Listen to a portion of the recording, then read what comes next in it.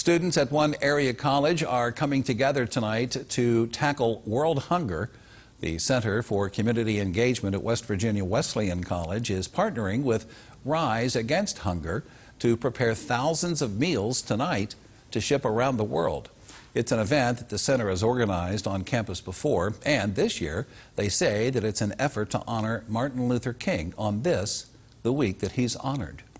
Martin Luther King, you know, he talked a lot about hunger and poverty and how we should give of ourselves to others. And um, so we feel like that this event is, you know, kind of like a, a call from him, and we're answering that call.